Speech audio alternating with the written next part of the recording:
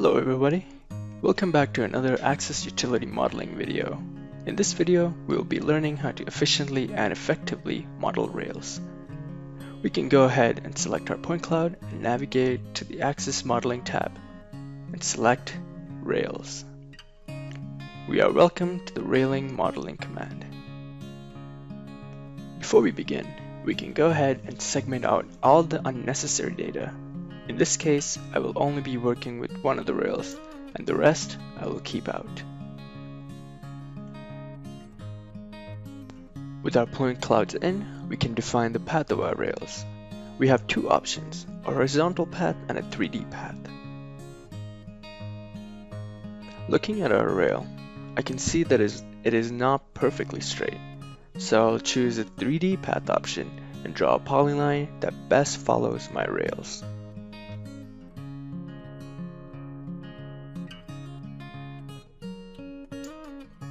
With the 3D path option chosen, I can select the polyline drawing tool in the command itself and draw my polyline.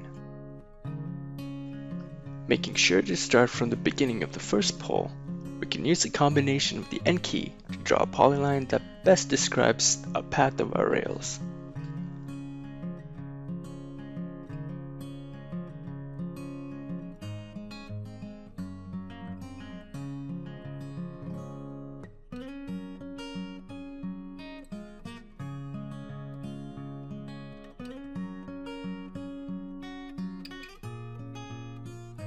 Once the polyline is drawn out, we can end the line and create it.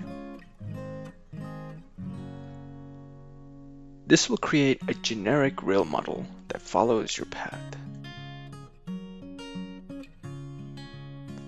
As you can see, the base of the model has been loaded in where we drew the polyline, but we can easily bring it down using the vertical offset, but I will keep it here where it is for now.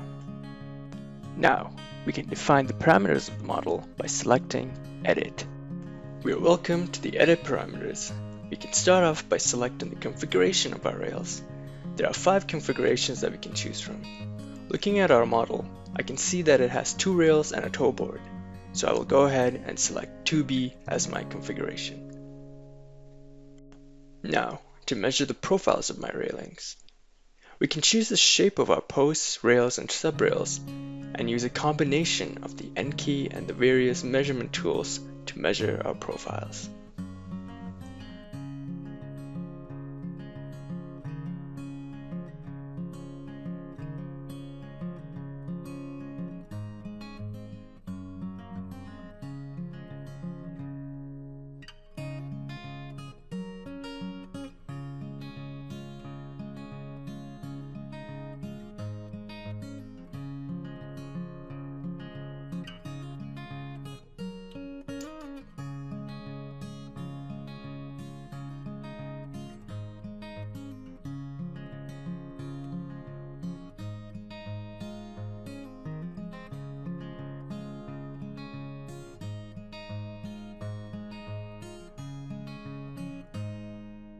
Now that we have measured the parameters of our rail, we can measure the distances. For this rail type, I require the total height of the rail, from the top of the rail to the toe board, the height between the two rails, as well as the toe board clearance.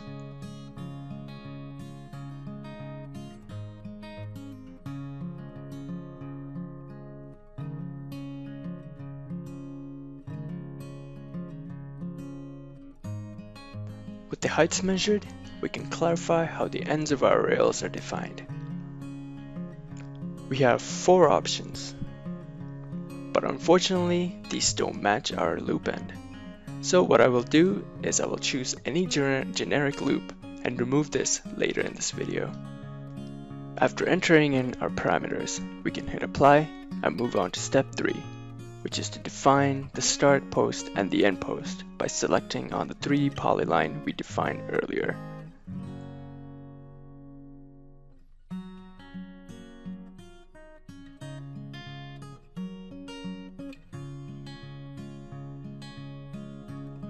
With our start and end defined, we can use the measurement tool to measure the interval between each of the posts and enter this value as our interval.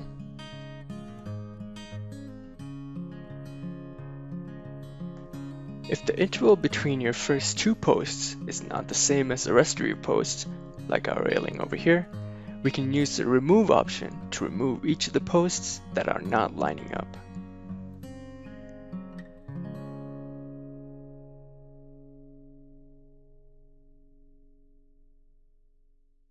Now that we have removed the unwanted posts, we can go ahead and use the additional posts option to add where the posts should be by selecting the position on the polyline we defined earlier. We can say no to the dialog that asks if we want to reposition at the original interval we defined earlier.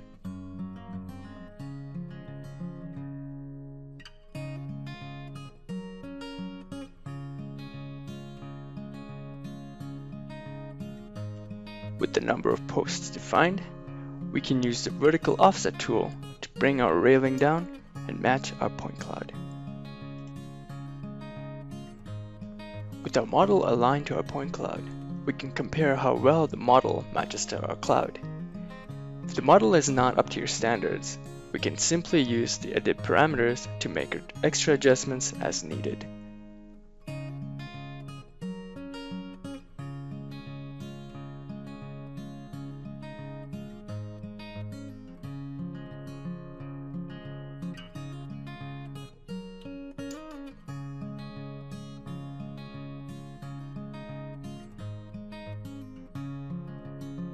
With our edits finalized, we can hit apply and then hit create to create our model.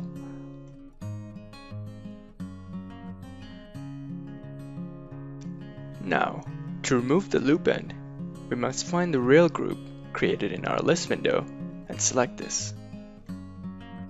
And in our 3D view, select the loop end and the post associated will be highlighted in our list and we can simply delete this post.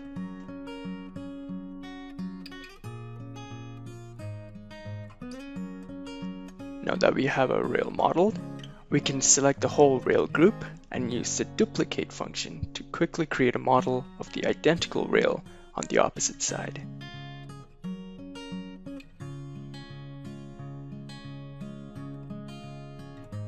Perform some inspection and if you're satisfied with the duplicate model, then hit create. And voila, we have successfully modeled two railings. Check out our other modeling videos, and see you next time.